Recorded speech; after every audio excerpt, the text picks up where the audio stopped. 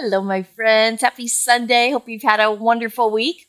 Hey, today's lesson is going to be about somebody that you may not know quite as well as you've known some of our other Bible characters, but um, you definitely know his dad, all right? Because his dad is David. Do you guys remember David from David and Goliath, right? Of course, you guys all know who he is. Well, this is David's son, Solomon. And this story takes place when David is much, much, much, much older and hopefully much, much, much, much wiser. All right, Solomon, the story about Solomon is talking about wisdom. And so we're going to learn about that today. But let's take it back to where the story starts. And um, David has gotten much older and he's been through a lot, right? Do you guys remember he was a child when he fought Goliath, right? Do you guys remember when Samuel anointed him with oil and told him he was going to be king, right? So remember that because that's going to happen again too. And um, so Samuel, we talked about a few weeks ago. I love how, showing you guys how all these people fit together and how the family of God just keeps moving forward, all in God's plan. So here we are. David is much older, and he's going to be telling us about um, Solomon.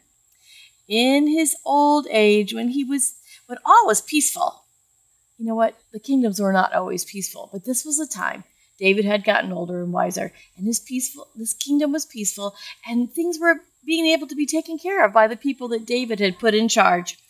And um, he spent his time getting everything ready for his son Solomon to build the temple for the Lord. He collected great quantities of gold and silver and brass and iron and precious stones, all to build the temple, which is the house of God.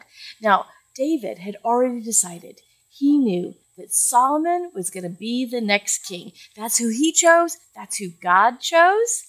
And so he knew that Solomon was going to be it. But as we've seen in many times now in our stories about brothers, right? Sometimes when one brother is chosen, the other brothers don't like that so much, right?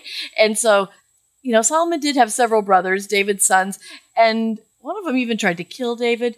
This other one that we're going to talk about today, he thought that he should be king. So he made a plan and he went out, he gathered all the leaders and he thought, okay, I'm going to talk about this and then you guys are going to lift me up as king. But as happens very often with the help of God, David found out. Wicked plans are also often found out because of God making that apparent to people. David found out and he said, No, my plan is for Solomon to be king. God's plan is for Solomon to be king. And here's what he did. So, Nathan, the prophet, and Zadok, the priest, took Solomon out of the city. The priest then anointed um, Solomon with oil. Do you guys remember when Samuel anointed David? This is kind of the same thing. The priest was anointing Solomon with oil the trumpets blew by the, the soldiers blew those loud trumpets. All the people came running to see what was going on. When they heard the shout long live king solomon they all cheered and shouted again long live king solomon. They joined in a procession so a big parade right? And they followed the soldiers marching and blaring their trumpets. Then solomon came in riding on david's mule. Now for that for him to be on David's animal, right, on David's mule or donkey, that was a big sign. That was a big sign. And the soldiers were marching on each side of them. Next came more soldiers, and then the people shouting, Long live King Solomon. The people were singing and dancing, and the flutes were playing, and they were shouting so loudly that the earth echoed with the noise. So it was a huge celebration. They were so excited to know that David, as he was getting older, was passing passing it on and that Solomon was going to be the next king. So how do you think this other son felt? He had a plan. Was it God's plan? No. But he had a plan. When he heard all his guests at the feast heard the great noise, they moved to Jerusalem and they found the alarm. What was all that noise? And the priest said that they had named, David had named Solomon as the king. He has sent his own bodyguards of soldiers with him, and he gave him to ride on the king's mule. Nathan the prophet and the priest have anointed him. the great company of people that were with the others um, announced it, and they shouted with joy, All hail to King Solomon. When his other, the other son's friends heard this, they got frightened and they ran away. Everyone quickly slipped away and went home. So here's the other son, right? And all his friends that are around him that he was trying to say, I'm going to be the next king. When they heard that Solomon, the trumpets were blaring, he was riding on David's mule, and all the crowd was around him, they just ran away said, No, no, no, you are not the king. Solomon is the king. So it was set in stone. All right. Before David died, he called a great meeting of all the chief men of Israel.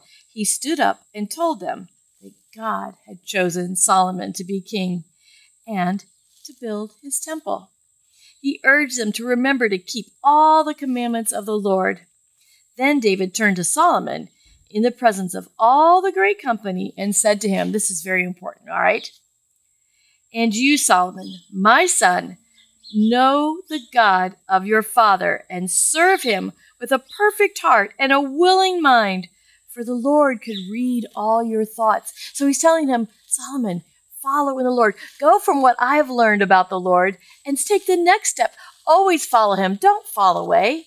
Always follow him. Stay close to the Lord, for the Lord knows your thoughts. He's there and he'll put good thoughts into your mind and help you if you stay close to him. So that's what David wanted for his son.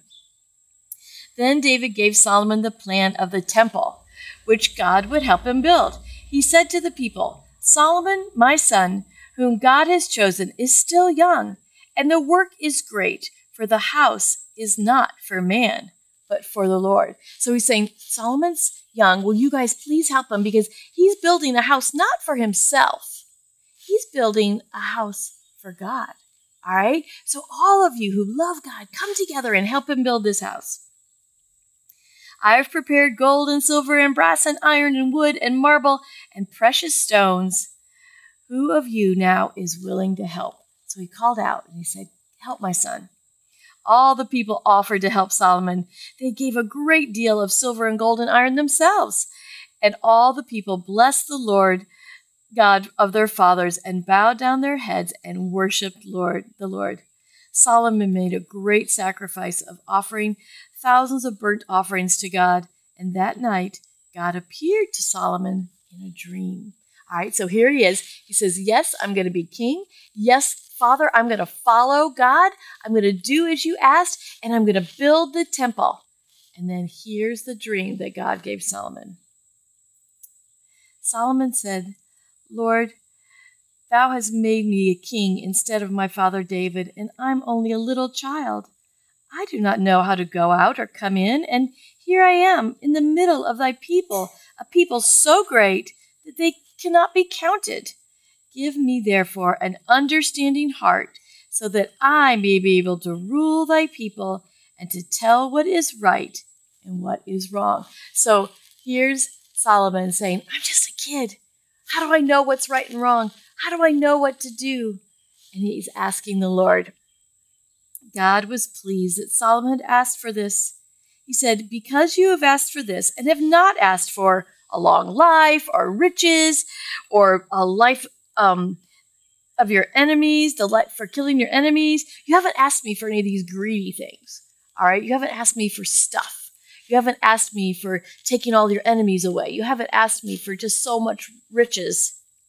But instead, you've asked for wisdom and understanding Behold, I have given you a wise and understanding heart, so that there shall never be any other man as wise as you.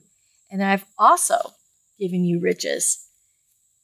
Because he loved Solomon so much, he said, You didn't ask for riches, but I'm going to bless you with those. But most of all, I'm going to bless you with wisdom. He said, I'm going to give you riches and honor too. And if you walk in my ways, as your father David did, I will give you a long life too. Then Solomon awoke, and it was a dream, but the dream was sent by God, and it came true. For Solomon became the wisest man who has ever lived. He was also very rich and highly honored, and he lived a very long life. All right, so David knew Solomon was to be king. He took him out. They anointed him in front of all the people. They made sure that everyone knew Solomon was to be the king. And David said, What I want is for you to follow the Lord, to trust the Lord, to stay close to the Lord, to serve the Lord, and to build my temple. Build the temple of the Lord. Now, why did um, David want him to build the temple? Because he didn't want people looking at the palace or Solomon's palace, which was David's palace, and thinking that's who you worship. Look at the Lord. Look at the temple that's built for the Lord. That's who you worship. All right? So I hope you guys will see that um, the temple was a very important part. Now, just for fun, I built a little temple. I built it out of marshmallows. What do you think? You guys want to build a temple? I hope you guys will build a temple, but think about it. It wasn't made of marshmallows, was it? It was full of silver and gold and jewels and beautiful things to honor the Lord. So build it out of Legos. Build it out of graham crackers. Build it out of marshmallows. But build the temple. And as you are thinking about that, think about what that temple meant, what that temple meant, and why it was so important to David that it was built. My other question for you guys this week is what would you ask for? Solomon, even as a child, was wise and asked God for wisdom. He said, Help me understand your ways, Lord. What if we all prayed that? Instead of when we pray asking for things, asking for help with something, asking for things that we wanted, what if we ask God for wisdom to see the way He thinks? Wouldn't we be so much better off knowing the way God thinks? Let me pray for you guys right now and just ask for that. Lord Jesus, we love you so much and we want to know your thoughts. Lord, help us fill our minds with wisdom. Help us to understand your way of thinking. Help us to see things not the way we want them, but the way you have them planned for us, Lord. Help us to see and know your will for us and for those around us, Lord. Help us to have wisdom we love you and we praise you and we thank you, Lord, for loving us so well. In Jesus' name, amen. All right, you guys, I hope you will seek his wisdom. Build a temple to show that you are worshiping God. All right, what what is what is the way that people are going to see God in you this week? So the temple was to help people see God, right? How now? You don't have to build a temple, a real temple. We're doing that for fun, but you don't have to build a real temple. You you can be the one that shines light and so people see God. So, my last challenge for you today is to find out how you can shine God's light to other people. Can you be as shiny as that gold and silver and precious stones? I know you can. Ask your mom and dad, help me, help me to have wisdom, follow God's plan, and shine the light of God so others all around you will see God and want to worship Him too. All right, you guys, you got some big challenges this week. I know you could do them. All right. I'll see you next week.